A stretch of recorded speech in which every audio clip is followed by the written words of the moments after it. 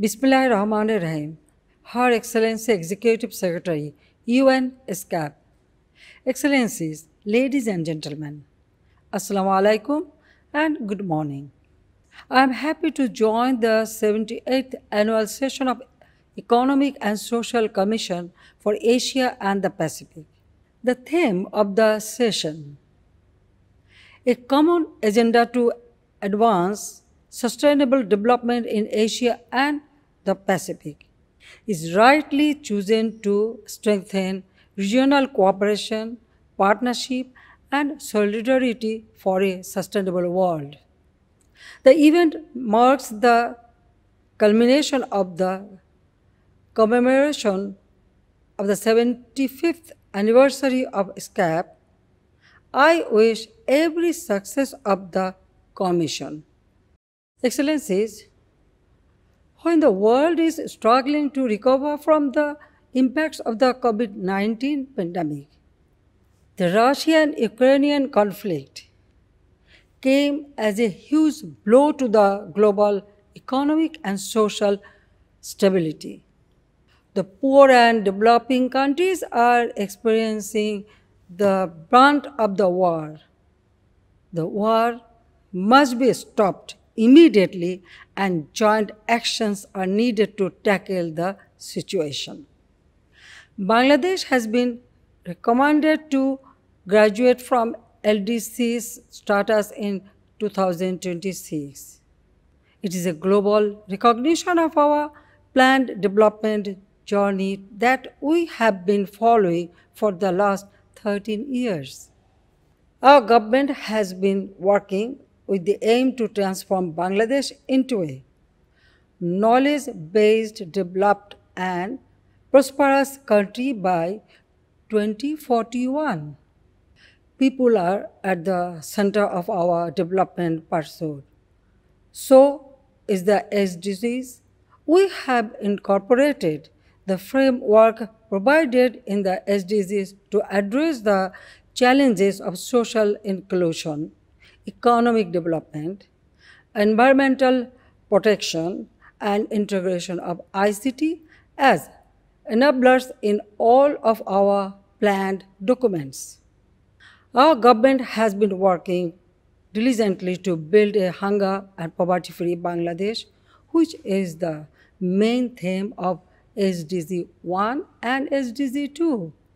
Dear Chair, COVID-19 pandemic battered the health system and economies of most of the countries across the world. The poor and developing countries are worst sufferers.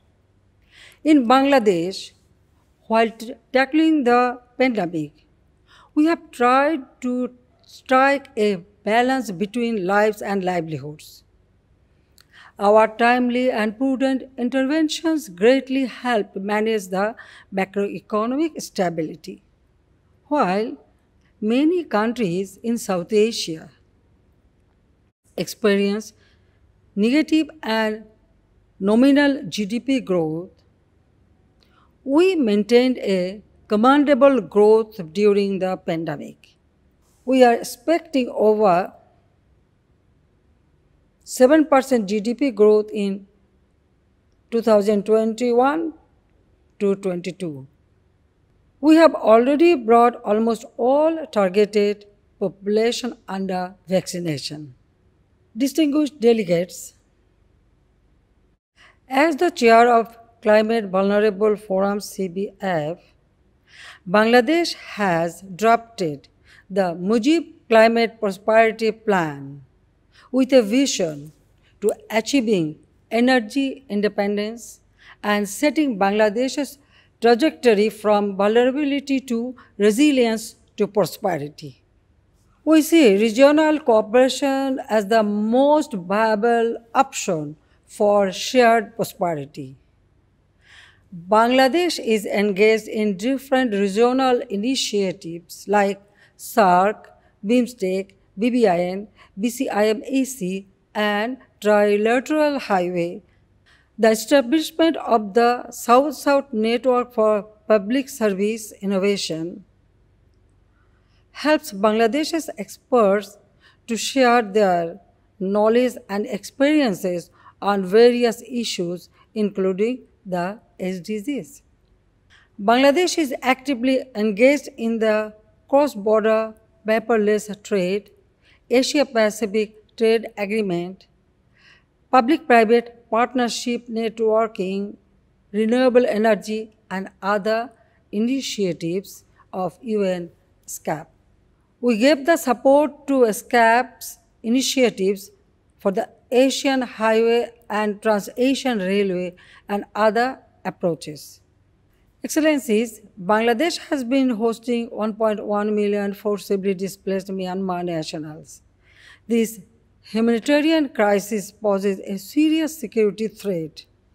We expect enhanced focus and active support of the international community to safe, sustainable, and dignified return of these displaced people. In conclusion, I would like to propose the following steps that ESCAP may take into account. Take action oriented steps to facilitate collaboration in pursuit of knowledge and innovation. Request for international support measures to the graduating countries in a more pragmatic way. Assist member states to get united to pursue sufficient allocation of funds and technology for climate change victim countries. Enhance regional financial cooperation to improve regional crisis management capacity and leveraging ICT for employment generation and growth of IT and IT enabled services to cope with the fourth IR. I thank you all again.